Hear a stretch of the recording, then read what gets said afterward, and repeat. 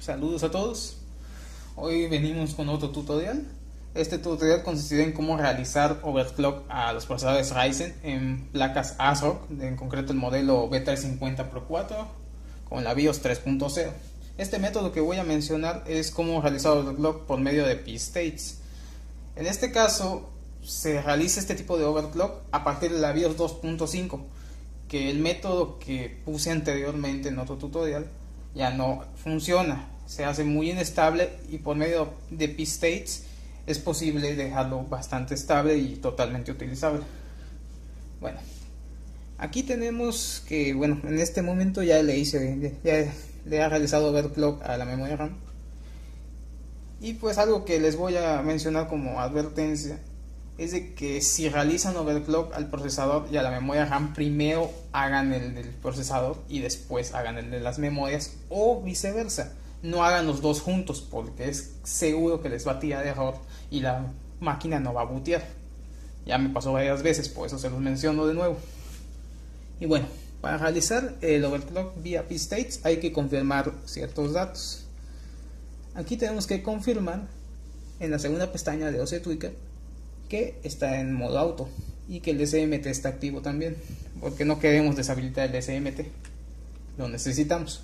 Bueno, en este caso vamos a ir a la tercera pestaña que es Advanced y nos vamos hasta AMD CBS.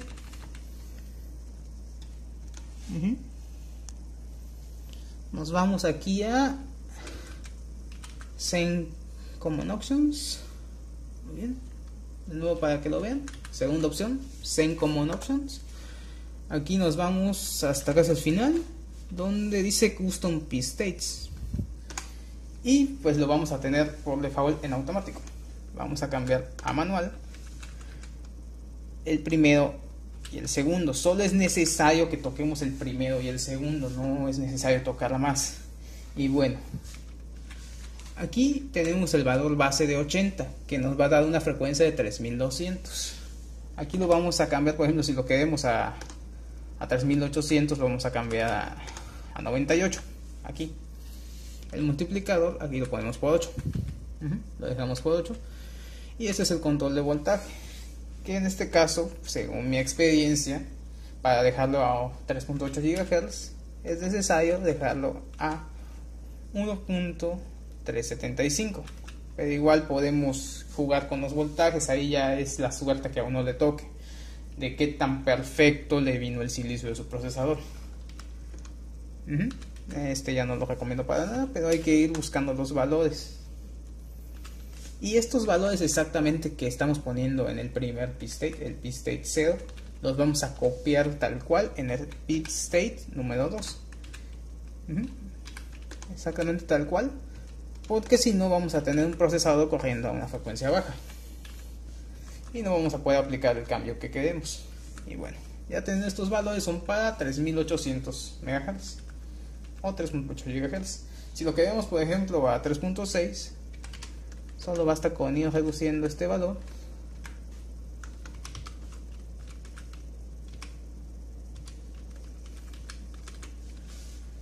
Y pues les puedo pasar un truco que yo utilizo.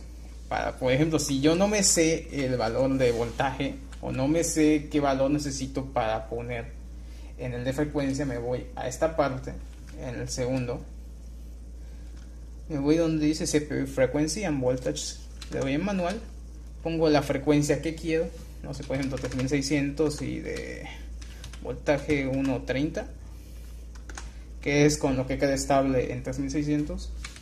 Ahora me regreso. Y vamos a tener los valores que queremos. Y esto si quieren pueden anotarlo pueden utilizar también este video de referencia. Aquí tenemos que para 3.6 GHz tenemos que poner 90 en el primero 8 en el segundo y 28 en el de abajo para el voltaje. Y copiamos tal cual esos valores abajo. Ya, ya lo tenemos.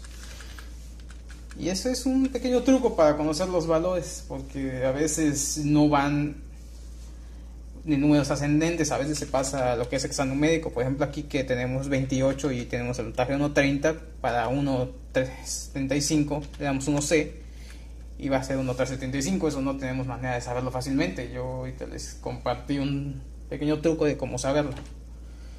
Ahora, lo regreso a auto y voy a volver a poner los valores que ya había puesto, que es el overclock que yo utilizo, en el que se me ha acomodado y con el que puedo obtener mejor rendimiento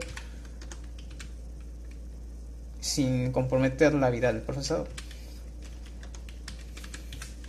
Bien, vamos a poner los valores como los tenía.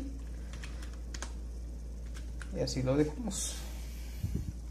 Ahora, lo único que vamos a hacer es F10, salvar configuración y salir. Y esperamos que botee. En caso de cualquier error, les vuelvo a repetir, Solo y únicamente en la BIOS con los pines de reinicio que tienen en la parte inferior. Pueden consultar su manual para saber la ubicación exacta y cómo cambiar la posición para reiniciar la BIOS, que es cambiando de la posición 1-2 a la posición 2-3 durante 5 segundos. Todo esto con la máquina apagada. Lo cambian a la segunda posición unos cuantos segundos y la regresan a la posición 1-2. Y ya pueden encender la máquina normalmente y no habrá ningún problema. Botella con los valores de default. Aquí ya les pongo que estamos iniciando. Y pues eso es todo. Gracias por mirar. Y nos vemos en otro vídeo.